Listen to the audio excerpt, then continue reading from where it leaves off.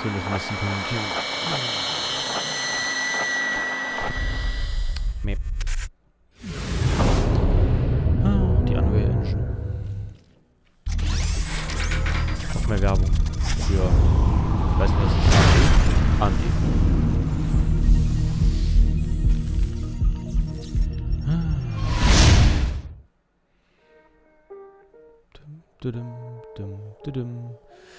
Dieses Spiel verfügt über ein System zum automatischen Speichern. Wenn du das rotierende Dingsbums siehst, dann geht's los. So, und damit ein herzliches Willkommen zu Bioshock Infinite in Form eines Let's Rolls. Ne, ein Let's Sprung ist es. Let's Roll ist nur Psychonauts.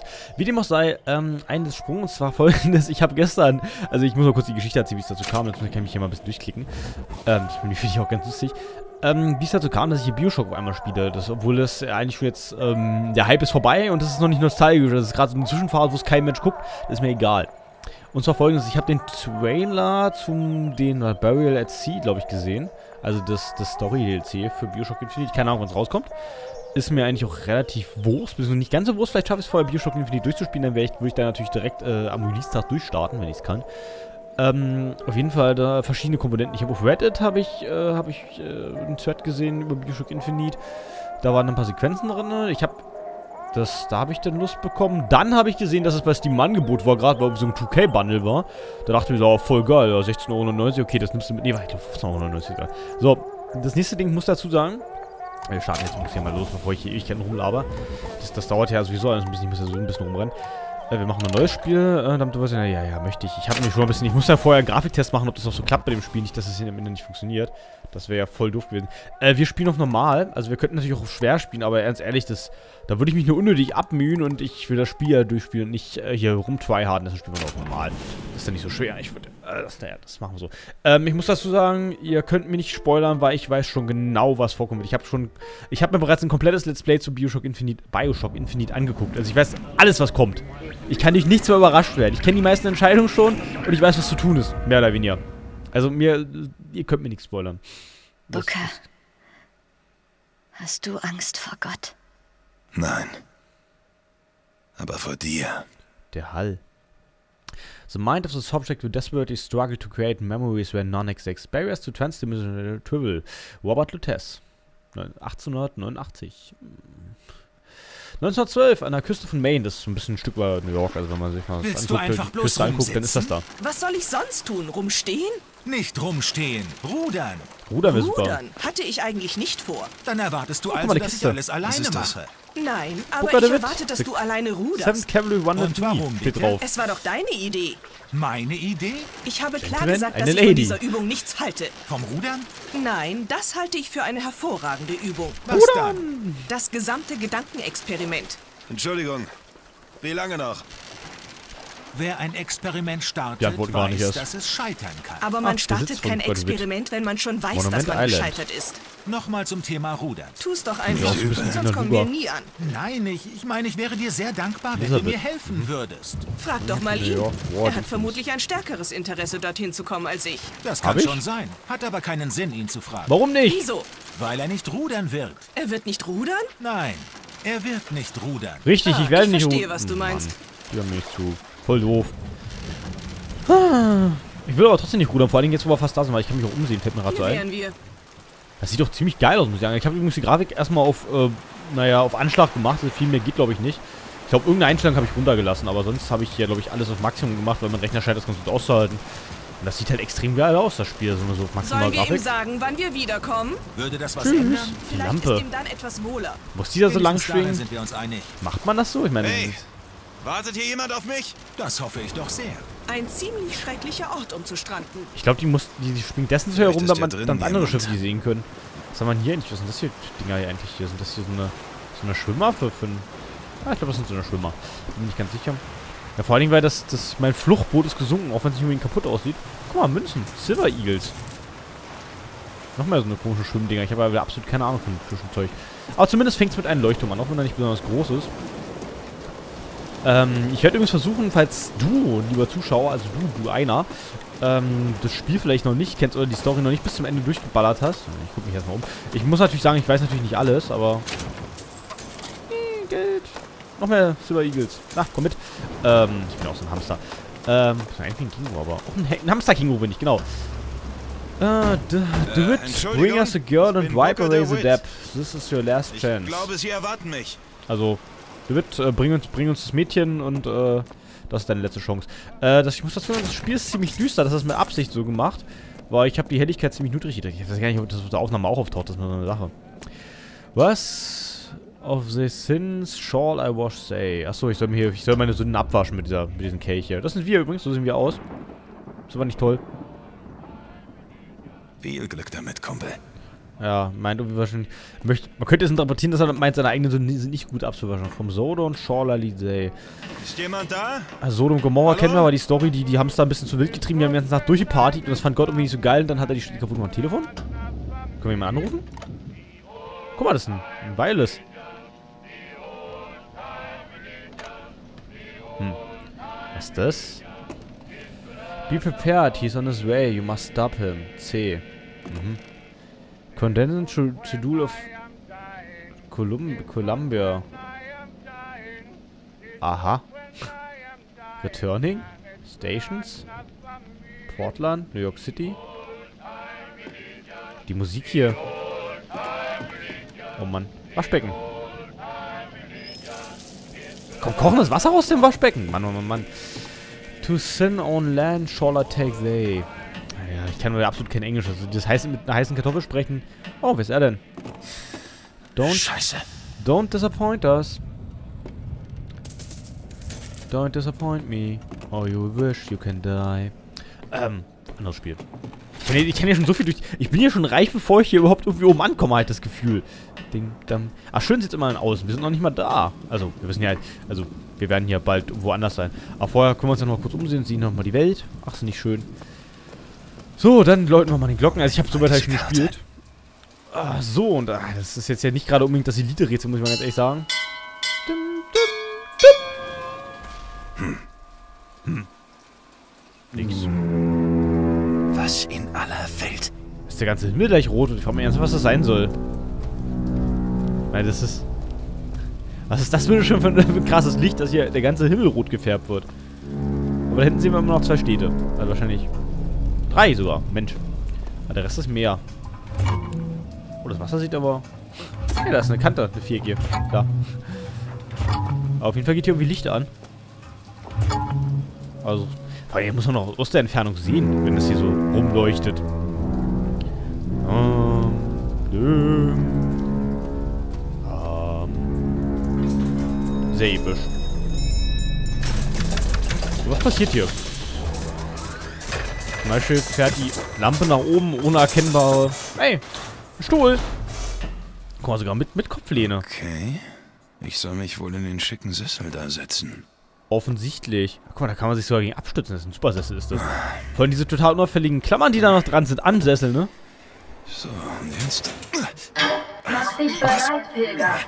Ja, ich bin ein Pilger. Countdown-Stimme. Also ich muss dazu sagen, ich habe die Untertitel natürlich angemacht, falls irgendwas verpassen, oder wenn ich rüber laber. Was kann man hier Schönes?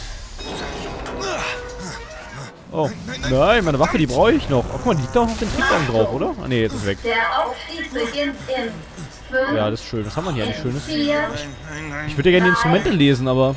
2, 1, nein! Aufstieg. Also, dass ein komischer Leuchtturm eine Raketenabschussstation ist, hätte man jetzt ja nicht so gedacht, aber naja. Guck mal, wir sehen uns nochmal selber. Ist das nicht schön? Das ist eigentlich hinter uns. Halleluja. Das ist Columbia. Ah, ich muss mich echt zurückhalten, nicht zu spoilern, ne? Also, das, weil ich weiß ja schon alles, was passieren wird. Ich kann doch schon alles erklären. Also, das meiste zumindest. Eine Stadt in den Wolken. Die wird garantiert nicht von diesen paar Propellern in der Luft gehalten. Das wird hinterher auch nochmal erklärt, warum die Dinger fliegen. Also, die Luftschiffe jetzt nicht, die fliegen, weil sie Luftschiffe sind, aber die Gebäude. Die fliegen ja auch nicht ganz von alleine. Wo man sich ernsthaft fragt, wie sie sich vorstellen haben, wie die Stadt gebaut werden sollte. Ich meine, das, das muss man ja irgendwie alles A hochschaffen und B irgendwie bauen. Father Comstock, our prophet. Hm. Der Prophet. Hey, wir sind gelandet. Eigentlich ziemlich gut, dass es die Rakete erst von alleine findet und das ohne Hightech. Eigentlich beeindruckend. Lädt. Why would he send us Saber unto us? Also warum würde, würde er unseren Retter senden?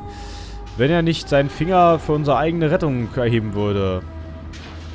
Ah, Nee, halt Salvation heißt was anderes. Aber irgendwas mit, sie verdienen keine Gnade. Und er hat uns zu diesen neuen Ehen gebracht. Unsere letzte Chance, unsere letzte Chance für äh, Büße, glaube ich, heißt Redemption. Ah, ich mit meinem schlechten Englisch. Ja, wir hören hier im Hintergrund noch ein bisschen Musik, ist auch ganz toll. Musik hört man ja immer wieder gerne.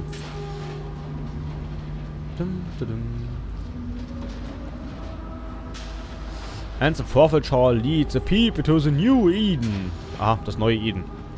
Ich meine, das alte Eden war nie kaputt. Fällt mir gerade mal so ein, dass da wurden ja nur die Menschen rausgekickt. Dass Eden auf einmal nicht mehr da war, glaube ich, ist in der Bibel nicht zu lesen, soweit ich weiß. Aber wahrscheinlich sind die so voll hier. Wir haben einen Lebenspunktebalken. Juhu! Ich bin mal sehr gespannt, wie weit wir kommen. Ja, komme ich jetzt hier irgendwo mal los? Was ist das ja nicht? Ach, das ist das Druck... Das ist ein Barometer, das da rechts. Das Ding da.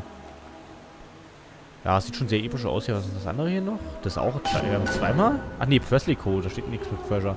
1987? Was? Warum steht da 1987? Drücke M bei der Navigation. Ja, das, das merken wir uns am besten mal.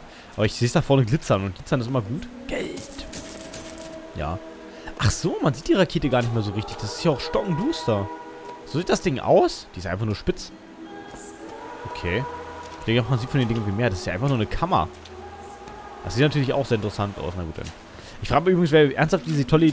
Vor allen Dingen, da muss ja immer genug Wasser nachlaufen. Da muss man sich richtig was gedacht haben. Aber das ist ja eigentlich voll gefährlich hier. Wenn man hier mal runterfällt, willkommen. Welcome Center. Hm, schön. Ich glaube, ich habe die Übersetzung ausgeschaltet. Weil wir plündern auf jeden Fall erstmal hier durch. Geld kann man immer gebrauchen. Man weiß ja nie. Ähm... Den Pilgern alles kaputt machen. Wir müssten eigentlich bald mal unser erstes Voxophon finden. Also das ist, das orientiert sich halt ein bisschen, also, ja, es ist natürlich schön, da ich das schon alles weiß, kann ich ein bisschen erzählen und äh, ausschweifen hier. Muss nicht die ganze Zeit rumwandern. Oh, was ist das denn jetzt hier Schönes? Ähm, das ist ein Voxophon, das ist quasi, das war, gab es ja schon Bioshock, diese Tonbänder, ich glaube in System Shock auch. Jetzt können wir uns ja was anhören, was Lady Comstock zu sagen hat. Entschuldigung, wo bin ich hier? Im Himmel, Freund, oder dem, was wir bis zum jüngsten Tag davon sehen. Aber gäbe es keine Solche Fragen behalte ich besser für mich, sonst fliege ich noch auf. Gäbe es keine Sünde? Wozu bräuchte man Vergebung? Keine Ahnung. Ich habe wirklich keinen Plan, wofür man Vergebung bräuchte. Überhaupt, Redemption heißt wahrscheinlich Vergebung, nicht Büße. Würde ich jetzt mal stark vermuten. Ja, die sehen ja auch immer sehr toll aus. Also die haben auch alle irgendwie, glaube ich, ziemlich nasse Klamotten, Ich würde ich mal muss vermuten. zusehen, wie ich hier rauskomme. Gucken auch alle so. Wie gesagt, das halte ich hier für gemeingefährlich mit diesen Treppen und diesem Wasser. Was ich das ausgedacht hätte. Klar, das reflektiert sich schön, wenn man, sich die Wände anguckt. Sieht klasse aus, aber... Volume. Warte mal, das, warte mal, ist hier vielleicht oben da auch noch die Glocke? Ja, guck mal, da ist der Schlüssel. Clay, was? Claven? Ich habe keine Ahnung, was bedeutet das andere ist hier. Gladium. Warum ist denn da ein Schwert? Vorhin war da aber, da war, da war die Schriftrolle, die, da war noch eine Glocke, stand ein Schwert. Warum ist denn das hier anders? Als un, unten auf dem, äh, ja doch, unten auf dem Turm. Und jedes Jahr an diesem Tage Prediger Witting. Merken wir uns den Namen wir Witting mal. Bekenntnis zu unserer Stadt und unserem Propheten, Vater Comstock. Ich glaube, die haben richtig nasse Wir Klamotten. erneuern es durch Opfer und Danksagung. Und Scheint das indem ja wir echt ernst meinen. in die süßen Wasser der Taufe. Und sehet, hätte der Prophet unsere Feinde bei Wounded Knee vernichtet und das Sodom unter uns nicht verflucht, es wäre haben doch immer andere gewesen. Hätte der Prophet nur das Sodom unter uns verflucht, nicht Der halt. die drei goldenen Geschenke der Gründer angenommen, komisch aus. es wäre genug gewesen. Hätte der Prophet nur die drei goldenen Männer eigentlich auch? Geschenke der Ja, die Männer haben Gründer auch Kleider. angenommen und nicht für unsere Erlösung gebetet, es wäre genug gewesen. Hätte der Prophet nur für unsere Erlösung gebetet und uns nicht in dieses neue Eden geführt, es wäre genug gewesen. Hätte der Prophet uns nur in dieses neue Eden geführt und nicht die Vipern des Orients ausgelöscht, es wäre genug gewesen. Also er macht halt schon gerade Hätte eine der. Prophet nur die Vipern des Orients ausgelöscht, aber nicht den Verlust seiner lieben Gattin erlitten, es wäre genug gewesen. Genau. Hätte der Prophet nur den Verlust seiner lieben Gattin erlitten, aber nicht die Vox Oh, da wird- Populi da wird ärgerlicher. es wäre genug gewesen. Vox Populi, Stimme des Volks, würde ich mal stark vermuten. Weiß ich auch, weil ich habe ja schon, wie gesagt, ich habe Let's Play geguckt. Ist Da. das ein neuer aus dem Sodom unter uns? Nee, Gomorra eigentlich. Columbia, um sich reinzuwaschen vor unserem Propheten, unseren Gründern, unserem Herrn. Ich suche nur den Weg in die Stadt. Den Ich komme aus Gomorra, nicht aus. Sodom. Wichtig. Gomorra, nicht Sodom. Bruder, der einzige Weg nach Columbia führt über die Wiedergeburt in den süßen Wassern der Taufe. Willst du geläutert werden, Bruder? Das sieht mir aus wie stinknormales Wasser, aber... Das oder umkehren und wieder in die Rakete steigen. Ja, die Rakete. Woher, woher, woher, woher weiß er nicht, was eine Rakete ist? Hey, Ich meine, wir haben 1912. Ich taufe dich sich die im Leute da mal im an. Propheten, im Die sehen auch witzig der aus. Gründer und im Namen unseres Herrn. Uah, Wasser, Git. Das ist überhaupt noch was Höheres, ja ein Wunder. Guck mal, der Typ ist blind, so wie es aussieht, oder? Aber das erklärt so einiges, dass er blind ist, oder? Also die Augen sehen zumindest aus wie die Augen. Glaubst du, das sind blinde Augen aus, wenn ich mich recht entsinne? Das würde einiges erklären. Mal sehen, ob ich noch dran denke, weil ich das rechtzeitig erwähne. Oh, was ist denn jetzt los? Flashback. wer ist da? Ist das hier eigentlich Dinger Race ist da? 2? Ach, Pferderennen sind das. Uns tilgen Sie die Schuld. Was wollen Sie? Männliche Stimme. Abmachung. Öffnen Sie diese Tür. Zigaretten. Ich hab doch gesagt. All ich mach Tabacco. das nicht. Also sein Bett sieht Sie richtig weg. gut aus. Vor allen Dingen erscheint die ja nicht dauerhaft zu weil guck mal, das ist hier nur eine Reisetasche. Der hat doch keine Decke, äh, er hat ein bisschen Alkohol. Schon mal hier noch? Ne, da kommen wir nicht rein. Sehr finster hier. Book, ah ne, doch, ist anscheinend doch war. Booker DeWitt Investigate Investigations into Mat was? Meter Matters? Achso. Investigation into Matter, both public and private. Ah, erstmal Privatdetektiv. Das ist aber nicht die andere Seite, oder? Das sieht irgendwie schon wieder nach Vision aus. Guck mal da oben. Da schwebt Luftschiff, die haben wir, glaube ich... Oh, fuck. So Luftschiff haben wir eben gerade schon mal gesehen. Gerade so. Also, warum zerschießen die Statuen? Warum haben die Statuen Waffen? Also, äh, Nee, warte, ist das eine Waffe? Das ist recht, das sieht zumindest gerade aus wie eine Schrotflinte. Der linke hat auf jeden Fall... Stolz erschafft keine Realität, ja. Nee, der Dieser Idiot von Priester sollte Hey, sich ach, mal das ist den die Schriftrolle. zwischen Taufen und Ertränken klar machen. ja, er hat wieder das Gladium dabei. Warum war da vorhin eine Glocke? Markanten Punkt suchen und rausfinden, wo ich bin. Vater Ja, ja. Franklin erhielt einen goldenen Schlüssel, auf das Edens Industrie es über alle anderen Nationen erheben solle. Ach, das soll... Ach, das Vater ist der Schlüssel. Jefferson erhielt eine Rolle, auf das Edens Gesetze es Ach, über alle schön, dass gleich erklärt wird. Erheben sollen. Und jetzt? Und Vater so Washington? erneuern wir jedes Jahr unser Bekenntnis zu den Gründern und dem Propheten Vater Comstock, Bekennen uns erneut zum Propheten Vater Comstock. auf dass wir auf dem Pfad des Ja, ja, okay. Ich, ich kürze das hier mal ein bisschen ab und laber das Prophet nicht. füllt die Lungen mit Wasser, auf dass sie die Luft umso mehr lieben. Aha, das ist ja schön. Lungen mit Wasser füllen. Das erinnert mich. Da muss ich wieder an Game of Thrones denken. Die haben da auch einen ertrunkenen Gott. Der ist da, die ertränken auch ihre Leute, um die da zu bekehren. So um die. Guck mal, ein Kolibri. Kolibri. und der Rolle und, den Schlüssel. Amen. Warum da, äh, unten war doch eine Glocke, da war doch kein Schwert, oder? Oder bin ich jetzt komplett durch den eine? Stadt fliegt, heißt nicht, dass keine Idioten drin wohnen. In der Tat nicht. Also gut. Ich muss das Mädchen finden. Der Samen des Propheten soll sich auf den sitzt auf den Thron und ertränken in Flammen den, den, den, den Berg der, der, der Männer? Also der, der Menschheit. Man heißt wahrscheinlich Menschheit in diesem Zusammenhang. Ach, ich bin so schlecht in Englisch. Das kann man sich kaum vorstellen. Hui, eine Stadt in den Wolken. Ist nicht schön. Wir landen anscheinend gerade an so einem Ort hier. Ah, landen wir ja nicht hier doppelt an? Guck mal, da hinten gibt's Hotdog. Was machen haben diese Leute vorher gemacht, die diesen kleinen Abschnitt hier waren? Kann man da, hat das Ding eigentlich auch einen Keller? Schön, dass hier das alles so vollautomatisch funktioniert. Zwischen 9 und 10 Uhr morgens an. Da gibt's einen Wasserfall und alles. Sein Ah, Lieblingsstadtpark. Morgen? Freut mich sehr. Hotdog essen, sind der Plus?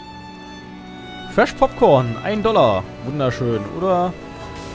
Ach, creme, malziges, auch guck mal. Popcorn nehmen. Zack, ein Hotdog. Nom, nom, nom, nom, nom, nom. Da kann ich noch mehr nehmen? Nee. Ich habe auf jeden Fall erstmal was gegessen, mich zu heilen. Ist ja schön. Luftschiff. Da ist ja eine Glocke. Eine Abschrift der letzten Rede des Propheten an euch, das Volk von Columbia, über die heilige Vergebung unserer lieben Lady. Comstock, unserer geliebten Mutter der Vergebung. Ja, super. Guck mal, da vorne, das, das, das ist der Bildschirm aus dem Anfang. Was? The tower protects the lamb from the false shepherd. Ah gut, also der, der Turm äh, beschützt das Lamm vor dem falschen Wünsche Hirten. gibt's nicht für einen Liberty Scout. Da zählen keine Wünsche, nur Pflichten. Das ist ja nett. Oh, der scheint darüber sich nicht so doll zu freuen über die Liberty Scout, dass es da nur Ich Pflichten sag, der gibt. Soltenstall ist der Richtige. Und keine Rechte? Ist für Glaube, Familie und Vaterland. Ich glaub, die wollen schon wählen. dagegen sein? Ja, Glaube, Frieden, Vermögen und Vaterland. Also gegen Glaube kann man schon sein. Repairing Fine Custom Work Especially. Ja, auf jeden Fall ganz so speziell. Gesundheit, wunderbar prächtig. Das Hipsterrad gibt es ja auch, nur dass es damals wahrscheinlich kein Hipsterrad war. Ah, schön. Was haben wir hier noch? Pilgrims Welcome. Jawohl, wir sind doch Pilger. Ich will die Lampe klauen. Finde ich hübsch. Oh, ein Voxophon. Hören wir uns gleich an. Hey, Lauscher, 82, das kann dauern. dem Zeitplan zurück.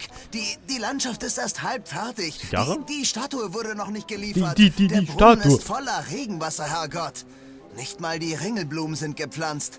Alles Arbeiten, die schon vor Dings Monaten da? hätten fertig sein sollen. Aha. Und Aha. wissen Sie, was dieser Mensch zu mir sagt? Dass er Also- müde sei. Dass ihm die Arbeit ausgelaugt hätte. Man merkt, ich dass er nicht arbeitet. Guter Gott, Mann, verschonen Sie mich. Arbeiten Sie. Mhm. Sind Sie bald fertig da unten? Ja, Sir. Das ist auf jeden Fall ein netter Mensch, also gar nicht arrogant, aber wir haben noch einen Audiolog. Das können wir uns mal anhören. Und der Erzengel offenbarte mir eine Vision. Eine Stadt, leichter als Luft. Ich fragte ihn, warum zeigst du mir das, Erzengel? Ich bin kein starker Mensch. Ich bin kein Der aufrechter. Mensch. Pilgrims Ich bin kein Heiliger. Ask about our Fauna Special. Er aber sprach jene wunderlichen Worte zu mir. Guck mal, das hat keinen Du hast recht? Prophet.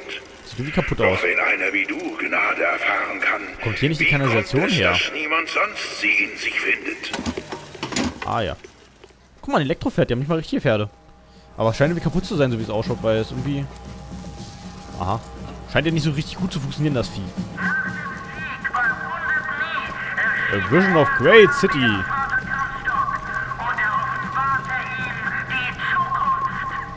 The prophet comes to lead his people out of the Sodom below. Gomorra! The miracle child is born, the future of the city is secured. Ah, das ist also ein Wunderkind, das ist ja interessant. Da finde ich schön übrigens, wie wahrscheinlich so das Lady Comstock sein so einen Heiligenschein hat. Das, das Lamm auch, aber Comstock, nicht. Das ist ja sehr interessant. Sie sind ja, Sorry, Mann. Du musst warten wie alle anderen. das ist ja auch sehr interessant. Alles klar. Viel Glück bei der Verlosung, Leute. Ah ja, was für eine Verlosung Zur eigentlich. richtigen Veranstaltung zu gehen ist nicht leicht. Man kann nicht überall sein. Man verpasst immer etwas. Ja. ja, die Bullen sehen auf jeden Fall sehr witzig aus. Machen die da oben? Hm, scheinbar rumzeigen, auch sehr interessant. Nun gut,